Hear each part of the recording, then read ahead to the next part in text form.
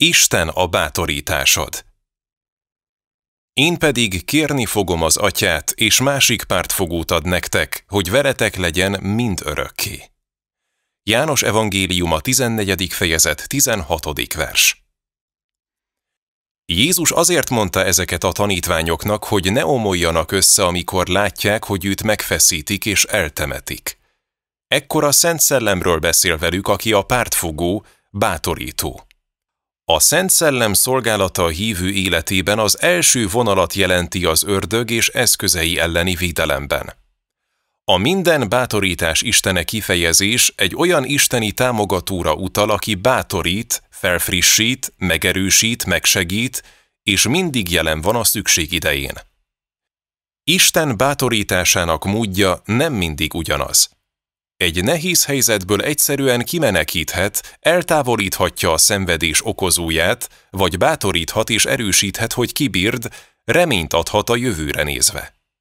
Küldhet más hívőket is, hogy osszák meg veled a hitüket profécia formájában, munkatársakat adhat, hogy szolgáljanak és erősítsenek téged. Az Úr eszközként használja Krisztus testét, hogy bátorítson téged feddéssel és imával.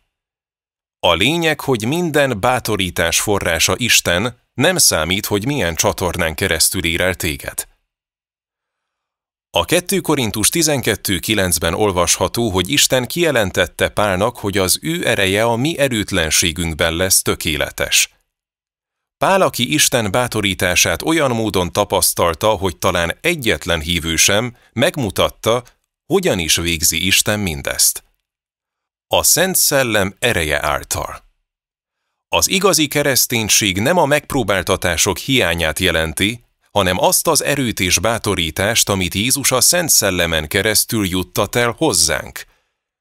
Nem tudsz ellenállni a mindennapi élet nyomásainak a Szent Szellem bátorítása nélkül.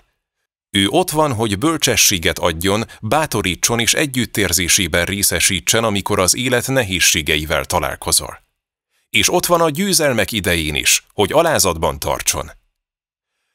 Ma bármire is legyen szükséged, csak tekints magadba.